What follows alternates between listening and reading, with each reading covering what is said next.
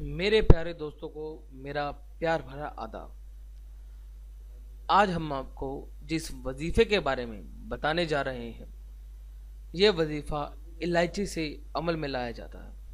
दोस्तों, वजीफ़ा या अमल एक ऐसा लफ्ज़ है जिसे हम कहीं सुनते या पढ़ते हैं तो दिमाग में फ़ौरन यही ख्याल आता है कि वजीफ़ा करने में कोई ज़रूर बुरे लफ्ज़ों बुरी रूहों और शैतानी चीज़ों का इस्तेमाल किया जाता होगा, या वजीफ़ा करने में बहुत परेशानी झेलनी पड़ती होगी।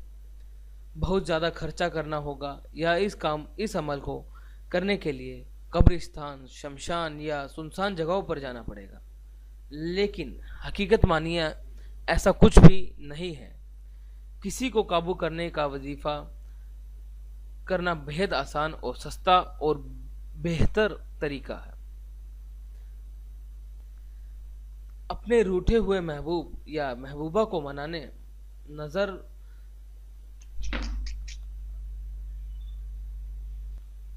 अपने रूठे हुए महबूब या महबूबा को मनाना, नाराज़ माँ बाप या दोस्तों को मनाना या आपके बुरा चाहने वाले दुश्मनों को काबू में करना है तो वजीफ़े का अमल करना फ़ायदेमंद है।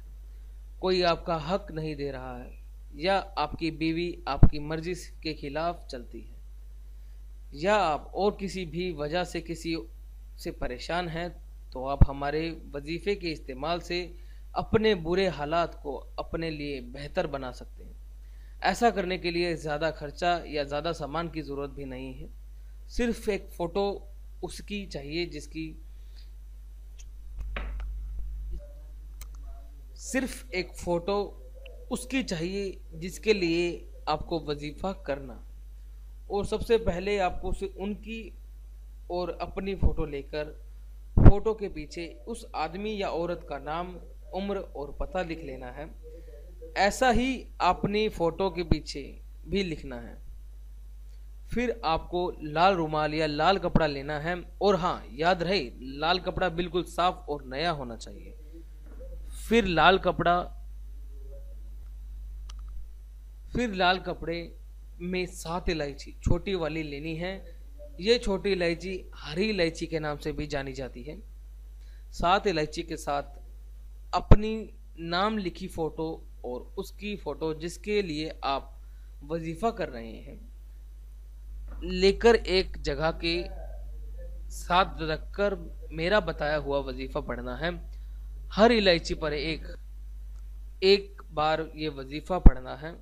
वजीफ़ा पढ़ने के बाद सातों इलायची को लाल कपड़े में रखकर सवा मीटर लाल धागे से कपड़े को बांधकर पोटली बना लेनी है। उसके बाद उस पोटली को किसी सुनसान जगह, खाली प्लॉट या किसी ऐसे खेत या मैदान में ले जाकर दबानी है, जहाँ लोगों का आना जाना ज़्यादा ना हो।